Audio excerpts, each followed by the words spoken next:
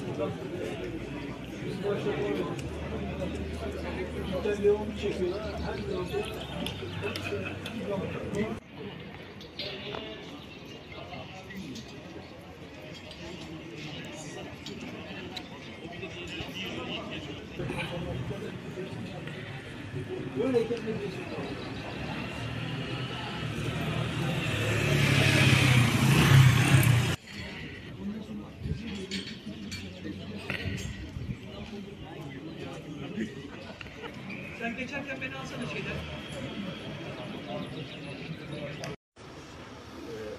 Arkadaşlar e, hoş geldiniz. Ee, Bugün ne yazık ki e, 22 Ekim 2022 yılında geçirdiği e, geçirdiği geçir 14 Ekim'de e, geçirdiğimiz e, Bartın'daki maden kazasından kaynaklı olarak buradayız. Tabii e, geçenki konuşmamızda ben söylemiştim kaza mı değil? Kaza değil çünkü bunların tamamı önlenebilir. Çok büyük acı kayıplar. Yanımızda e, tabii ki her zamanki gibi ailelerimiz var. E, e, Bartın Milletvekili e, Ay, Aysu Bankoğlu var. Dem, Dem Parti Milletvekili Çiçek Otlu. E, Bartın e, Amasya Belediye Başkanı Recai Çakır arkadaşımız var. Cumhuriyet Halk Partisi İl Genel Meclisi üyeleri var. E, e, Cumhuriyet Halk Partisi'nin belediye meclisi encümen üyeleri var. Cumhuriyet Halk Partisi farklı yöneticileri var. Ee, Bugün e, davaya katılmak için e, buradayız. E, Ben e, Recai arkadaşıma sözü veriyorum. Değerli basın mensupları 14 Ekim tarihinden bugüne her zaman davanın takipçisi olacağımızı söylemiştik. Bugün yine e, sürecin takipçisi olmak e, üzere yoldaşlarımızla, ailelerle, vekillerimizle bir aradayız. E, her zaman söylediğimiz üzere aslında bu kazanın, bu facianın, bu katliamın esas e, sorumluları Bartın ilinde yaşamıyor öyle söyleyelim. Tabii ki burada esasen sorumlu olanlar da hak ettiği cezayı almalı ama esasen bu yönetim anlayışının e, liyakat problemlerinin, buraya kaynak ayrılmamasının sonuçlarını yaşadık. 40 can kaybederek biz de sonuna kadar ailelerin yanında ve halen bu madene girerek üretim yapmaya çalışan Türkiye'nin dört bir yanındaki madencilerin yanında durmaya devam edeceğiz. Teşekkür ederim. E, Madenci ailelerine konuşmak istiyorum.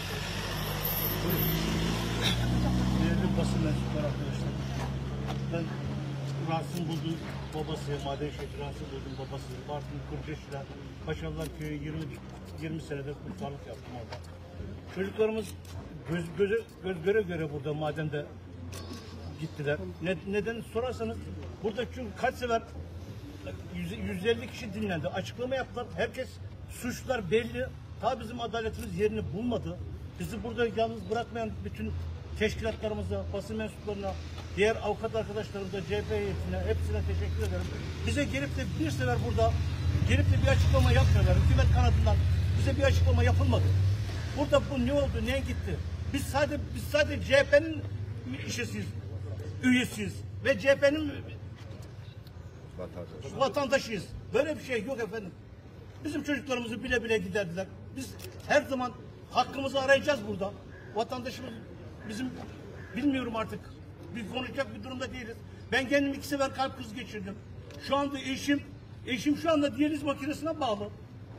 Aa, diyalizde şu anda bir, bir sefer diyalize giriyordu. Benim çocuğumdan sonra eşim bir sefer diyalize girmeye başladı. Şu anda devlet hastanesinde makinede bağlı.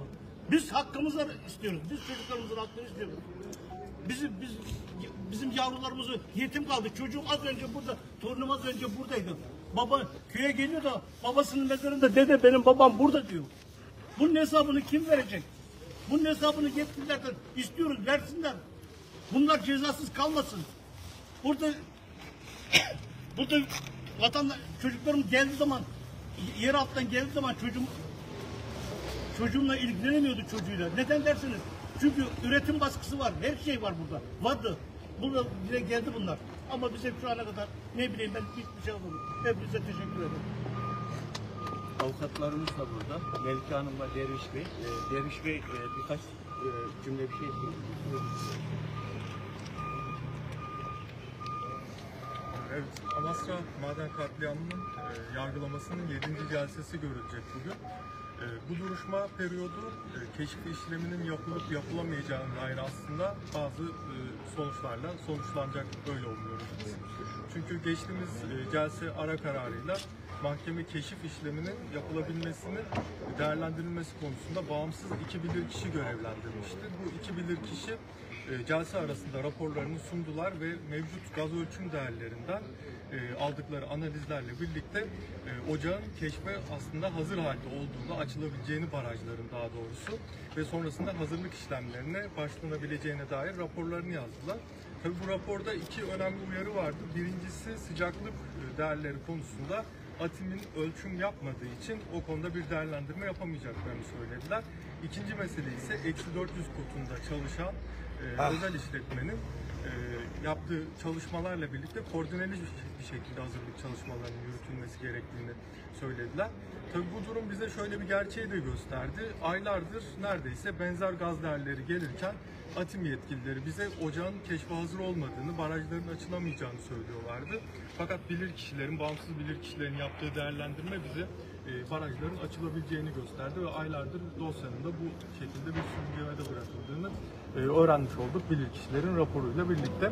E, yargılama bu celse itibariyle e, daha çok keşif e, gündemine ilerleyecek ve sonucunda bir keşif kararı alınmasını umuyoruz.